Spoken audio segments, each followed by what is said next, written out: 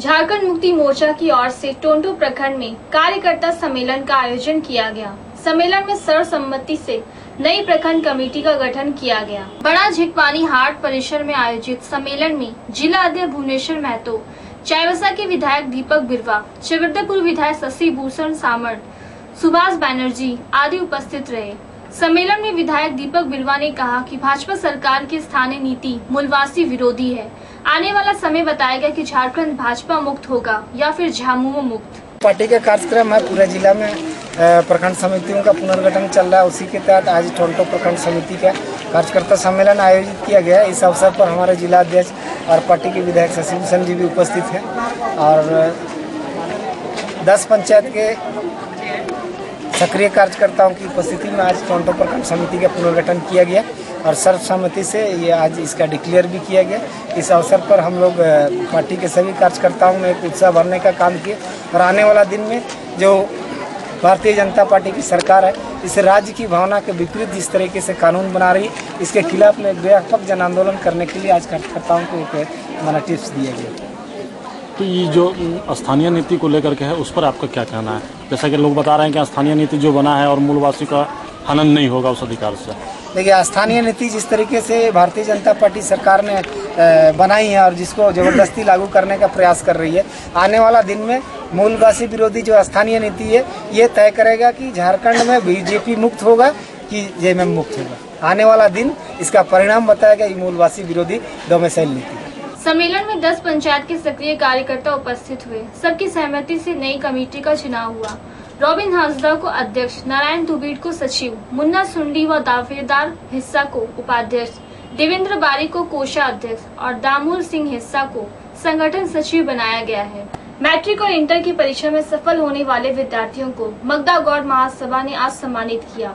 छात्र छात्राओं को कैरियर से जुड़े सुझाव भी दिए गए। पिलाई हॉल में आयोजित प्रतिभा सम्मान समारोह और कैरियर काउंसलिंग में कोल्हान प्रमंडल के तीनों जिलों के बच्चों ने हिस्सा लिया।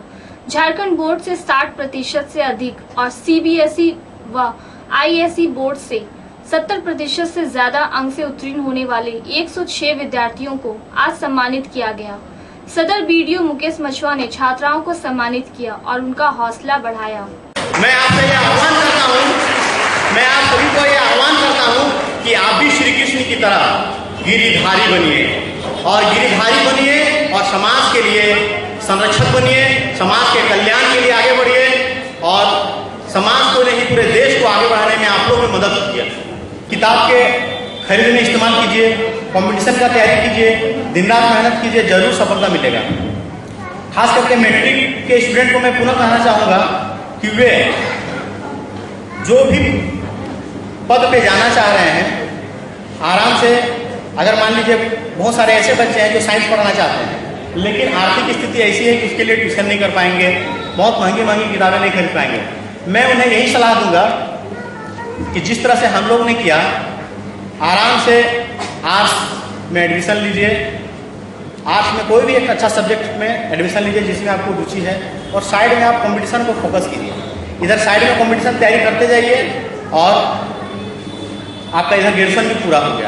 क्योंकि आजकल कंपटीशन का ज़माना है प्रतियोगिता का ज़माना है। जब तक आप प्रतियोगिता में सफल नहीं होइएगा आपको नौकरी भी नहीं मिलेगा। मगदा गौड़ महासभा के डॉक्टर नंदलाल गोप ने कहा कि छात्र छात्राओं को प्रोत्साहित करने और सही दिशा देने के लिए हमने 2014 में इस कार्यक्रम को शुरू किया था। जो जेक बोर्ड के 60 परसेंट से एबव और आईसीआईसी सीबीएसई के 70 परसेंट से ऊपर जो मार्क्स लाए थे उनको हम लोगों ने सम्मानित किया।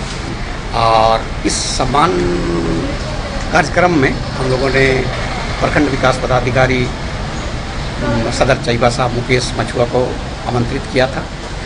वीडियो प्रखंड विकास पदाधिकारी श्री सही राकेश कुमार गोप को बुलाए थे, लेकिन वो नहीं आ पाए। और बैंक ऑफ़, यूनियन बैंक के शाखा प्रबंधक मनोज कुमार गोप को हम लोगों ने बुलाया था। और इन लोगों का कार्यक्रम हुआ। यह हमारा उद्देश्य छात्र छात्राओं का मनोकौशल को आगे बढ़ाना और इनको कैरियर करियर गाइडेंस देना, ताकि ये आगे चल करके अच्छे अच्छे इंस्टीट्यूशन में जा सकें और कंपटीशन की तैयारी करें। ये हम लोगों का मकसद है मर्दागुर बासू